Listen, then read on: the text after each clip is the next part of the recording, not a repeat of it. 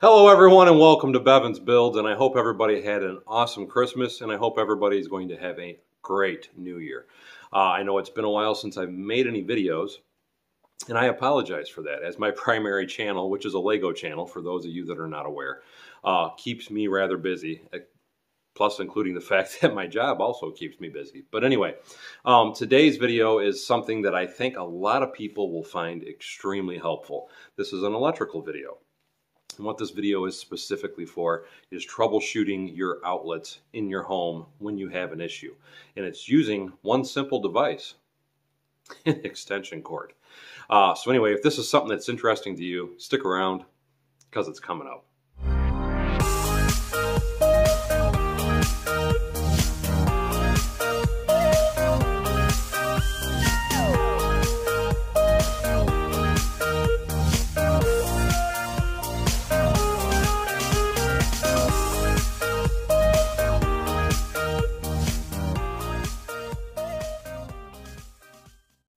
Being a homeowner, I'm sure uh, everybody has experienced at least one problem with their electrical system at some point or another. But first, I do want to say one important safety thing. Uh, if you are uncomfortable in any way working with electrical, do not do anything that I'm doing in these videos. I don't want to see anybody get hurt. But anytime you're working on electrical, you should turn it off. And if you're uncomfortable working with electrical devices, please call a professional to get assistance. Now, if you're a homeowner, you have ran into this problem at least once, at least most people have. And what that is, is the issue of one electrical outlet in your house not working. And I just want to show you uh, what it is. I have this outlet here is working and this one is not. And just to prove to you that I, this is not trickery, I'm going to take this light and move it over here and plug it in and show you what I mean. Now I have both lights plugged into that outlet and we know it doesn't work, but we do know that that outlet is working. Now the first thing you obviously want to do is go to your lighting panel and make sure that everything has been reset and is working properly. Now you went to your lighting panel, all the breakers that should be on are on. So the next step that I like to do is I will remove the panel face cover and just to make sure that the breakers are good, because sometimes you will find that it's a breaker that actually went bad. I'm going to physically test and check that I have power to every breaker. So what I'm going to do is I'm going to go to my neutral or ground bus. It really doesn't matter. In this case, this is my ground bus. Uh, but you can also go to your neutral, just showing you up here. But anyway, I'm going to my ground bus. And now I'm going to test each individual breaker to make sure they are working. And how you do that, again, you have to take your panel face off, and then every screw that you have on your breaker, you're going to put it to it, and you're going to turn the power on your fluke. you're going to uh, take your fluke, you're going to put it to ground, and then you're going to take your other wire, and you're going to put it to the uh, hot or the screw on the breaker. And just to show you, I saved it. I do have 121 volts. And you're going to want to do that on every breaker because at this point, you're not sure where the problem is. And you're not sure which breaker it is. So like I said, we are just double checking to make sure that every breaker is functioning and working properly. Now, something else real quickly we can check before we move on out to troubleshooting out the branch circuit out in the, the room itself is you can just give all the wires a little tug and make sure that they are going out there. Um, because you want to make sure that you do have power going to the out or the, the wire. I have found instances in the past where when you're just tugging on them a little bit, you'll find that the wire physically is not in the screw holder, and that is the actual problem. But that's not the problem here, so let's move on. Now here's where I want to suggest some tools you may need for troubleshooting your circuit. One of the first ones I love to use is these fluke meters. Um, this is what we refer to as a tick tracer. And what I'm going to do is I'm going to double check to see if I even have, we know this outlet was working. So let's first check to see if we have power on this outlet. And if I can get it to work. As you can see in here, we do have power here. Now, let's see if we have power at the outlet that's not working. And look at that. We do have power, but yet the lights still do not come on. Here's where I'm going to suggest the next tool you want to use. and that is one of these little fluke meters.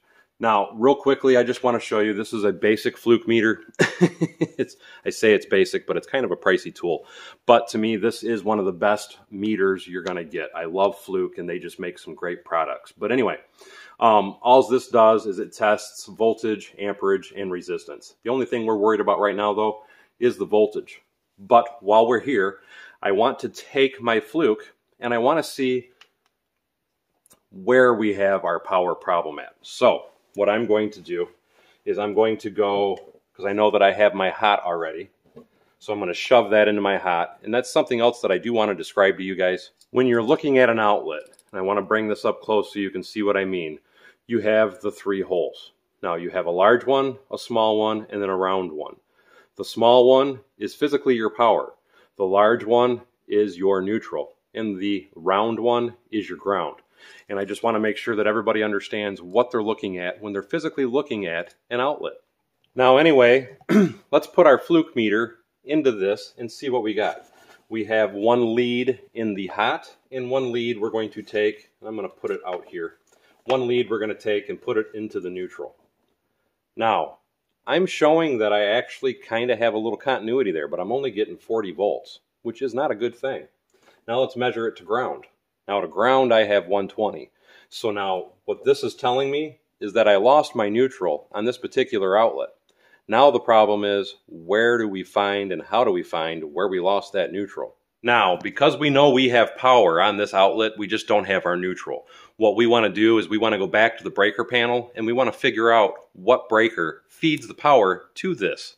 And here's how I'm going to do that. Because this outlet is not working with a fixture plugged into it, I'm going to take this ticker again. We're going to turn it on. And we're going to plug it into that outlet. And now we're going to go back to our lighting panel. I'm hoping you can still hear that beep like I can. And now it's off. Now, as you can see, the power is physically dead to this outlet. Here in just a minute is where that extension cord is going to become our invaluable tool.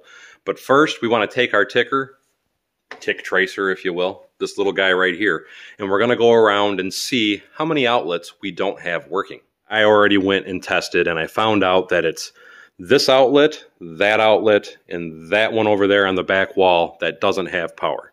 Now, because we don't know which end the power is coming in to feed these outlets, even though I already know it's this end because I wired the barn, but in a lot of situations, you're not going to know. So what you're going to do is you're going to go to one outlet on either side of the outlet you're having a problem with, if they are dead on both sides of it anyway.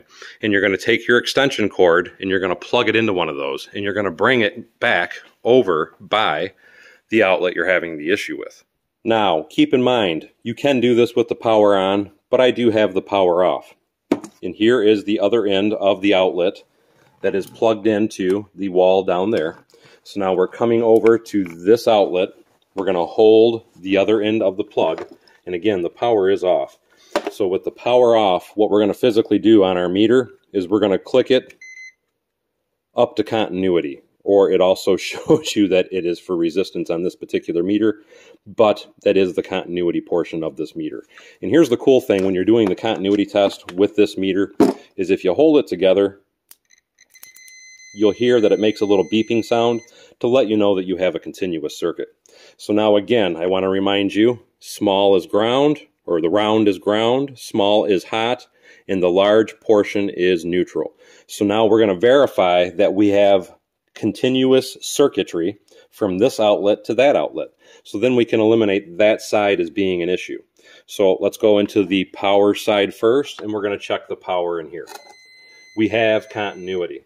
Now we're going to go into the neutral side of the uh, extension cord, and then we're going to go to the neutral, and we have continuity. Now we're going to go to the ground and the ground, and we have continuity. So we know the problem isn't that way. So let's plug it into the other outlet now. I am now plugged into the other outlet, and that was the outlet that was actually working. But let's come over here and take a look at this outlet again.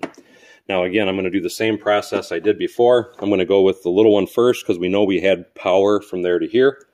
And I'm going to check our continuity. And we have continuity. Now let's go to our neutral. And look at that. We have an open neutral between this outlet and that outlet over there.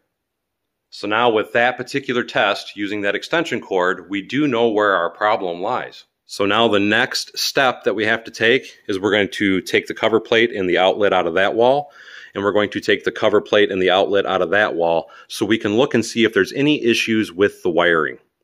Now I've already removed the cover plate and I used a flathead screwdriver. But when it comes to the outlets themselves, there is no better tool to use to remove your outlet. First of all, get you a very small, low-powered screw gun. But the thing that I want to point out is you want to use, and I'm trying to get it in focus, an S1 bit. The S1 bit is a square bit, and that is what you want to use to remove the screws out of that because that will lock into the middle of that screw and make it pull out extremely quickly. Before doing this again, which I already did, always check for power because you do not want to get poked, is what I like to call it, when working with electrical.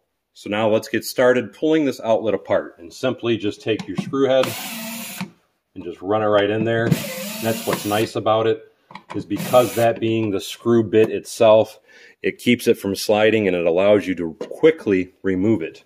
Now, I already know that the problem's here because right there, I had removed the neutral. But a lot of times what you're going to find is that you either have a burned up uh, wire cord, if you will, um, inside of there, or you have a burned up outlet that's not letting the current go through to the next outlet. But that is how we found it, and as you can see, that is exactly where the problem was. Now, just to make sure everything was working properly, I went ahead and turned the power back on after I got everything put together and plugged the lights back in so you can see that the circuit is now working. Now, I just want to point out you can use this technique to troubleshoot for a bad hot, and a bad ground also. This particular example I did, we searched for a bad neutral. But again, you can use it for any of the three. But I do want to point out to everybody, I really, really recommend that you do it with the power off. Even though you can troubleshoot it with the power on as well, I'm just trying to show you that it's safe and easy and nobody's going to get hurt if you're doing it with the power off. And again, if you're uncomfortable working with electricity, please call a professional as I do not want anybody to get hurt in any way. But anyway, that is all for this video. So as always, I hope this helps you with your home projects. I hope this helps you with your home problems because as we all know, calling a tradesman is very expensive to come and fix the things in your home. So anyway, as always, thank you for coming to Bevins Builds. Don't forget to like, subscribe, and share below, and hopefully we'll see you soon on Bevins Builds.